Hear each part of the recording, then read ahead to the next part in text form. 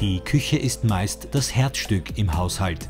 Viele Anbieter und die ständige technologische Weiterentwicklung sind jedoch eine Herausforderung für die Kunden. Wie planen, welche Materialien wählen, was sollen die Geräte können, etc. etc.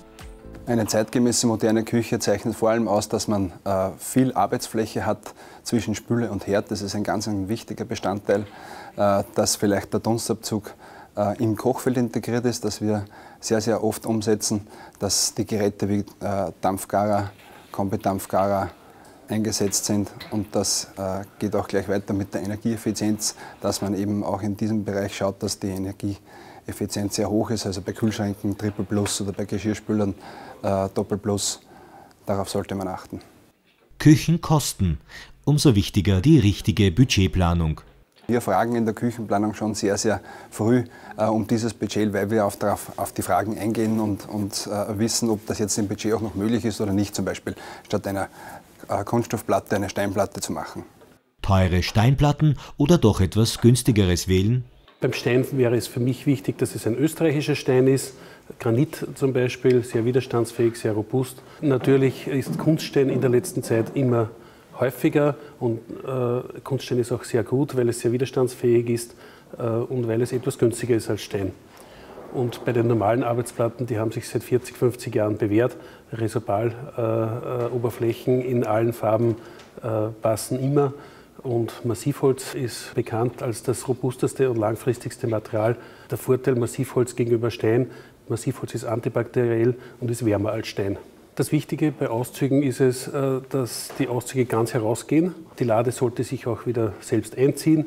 Äh, es sollte geräuscharm sein und es sollte hoch belastbar sein.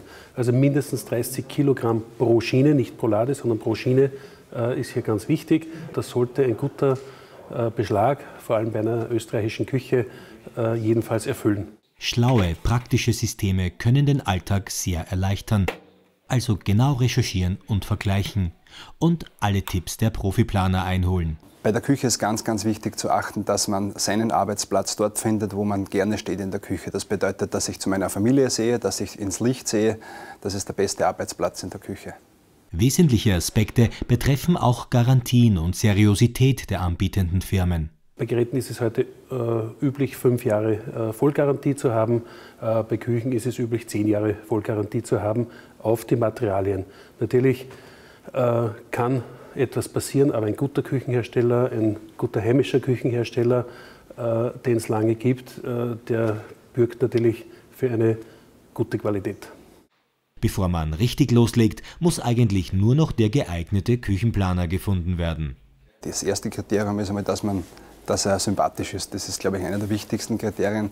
Äh, dann ist es natürlich wichtig, dass er eine ordentliche Bedarfsanalyse macht. Äh, und was äh, wir bei uns im Hause sehr schätzen, ist, bei uns kann jeder Küchenverkäufer auch selbst kochen. Weil wenn man selbst nicht kochen kann, ist es schwierig, jemandem zu erklären, wie Kochen funktioniert.